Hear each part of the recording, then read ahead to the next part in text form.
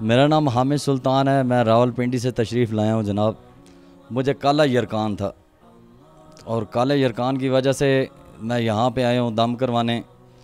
مجھے کسی نے بتایا، ان کا بچہ ٹھیک ہوا۔ انہوں نے مجھے بتایا کہ آپ وہاں پہ جاؤ، آپ کا کالا یرکان ٹھیک ہوگا۔ تو اللہ تعالیٰ نے شفا دی ہے مجھے۔ میں نے جو پہلے کروائی ہیں رپورٹس وہ بھی میرے پاس موجود ہیں۔ جو ابھی کروائی ہے کلیئر والی، وہ بھی میرے پاس موجود ہے۔ یہ آپ کے سامنے ہے۔ باقی کوئی میں نے دوائی نہیں لی کوئی میڈیسن نہیں لی کوئی کچھ نہیں لیا۔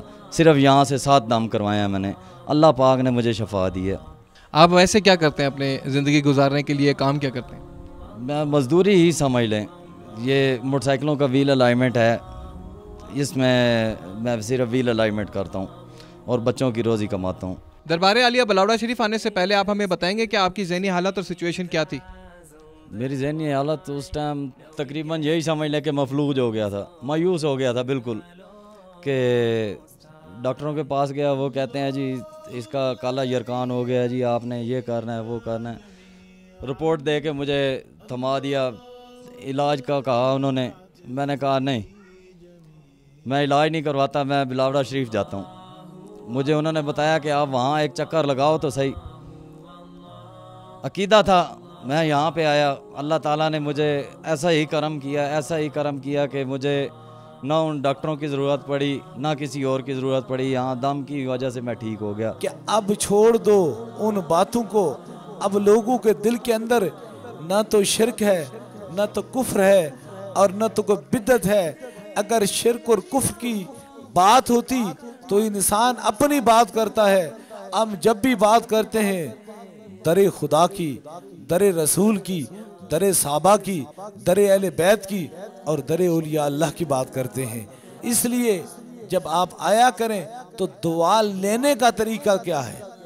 لگتی کیسے ہے؟ اب دیکھیں موسم ساون کا موسم آ رہا، برسات کا موسم آ رہا ہے۔ کچھ دیر بارش ہوتی ہے، کچھ دیر موسم صاف ہوتا ہے۔ لیکن جہاں ذرا سی ہریالی ہوتی ہے، جہاں مٹی اچھی ہوتی ہے جب پانی اس پہ گرتا ہے تو وہاں سے پھول، پھل اور اللہ تعالیٰ اناج پیدا کرتا ہے، لیکن صدیوں پتھر پہ بارش لگی رہے تو اس کا اثر کوئی نہیں ہوتا ہے۔ اس لیے پتھر کے اندر اثر نہیں ہوتا۔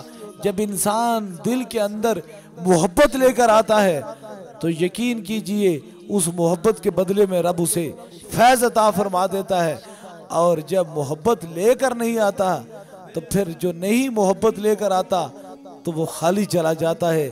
صرف آپ کی دل کی محبت، آپ کے لیے شفا اور کرم کا باعث بن جاتے ہیں۔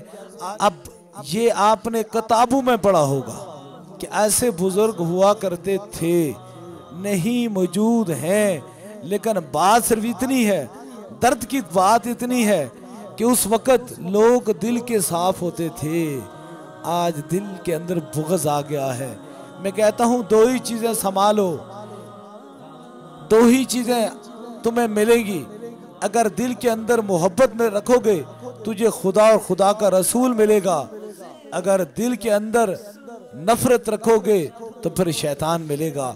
اس لیے جن دلوں کے اندر محبت ہے، وہاں میرا خدا بستا ہے۔ اور جن دلوں کے اندر نفرت ہے، وہاں خدا اور خدا کا رسول نہیں بستا بلکہ شیطان بستا ہے۔